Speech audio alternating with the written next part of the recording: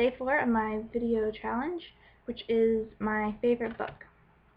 But I don't really have a favorite book because I've read so many, and I really can't pick a favorite because I don't know. There's so many genres and everything. Like I, I can't pick one out of all the books I've read.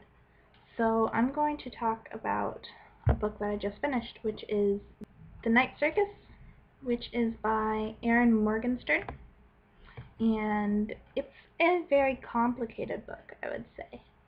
It's none of it really makes sense until the last 100 pages where everything like comes together and it's just like incredibly good. I loved the ending. You're being loud, shut up. So I would I would definitely suggest it to anybody who likes to read. Um, it's it's a fairly long book, but I mean, one like I said, it's really intriguing, and like the whole book sort of has this like mysterious but elegant tone, and it was really enjoyable. I thought. So yeah.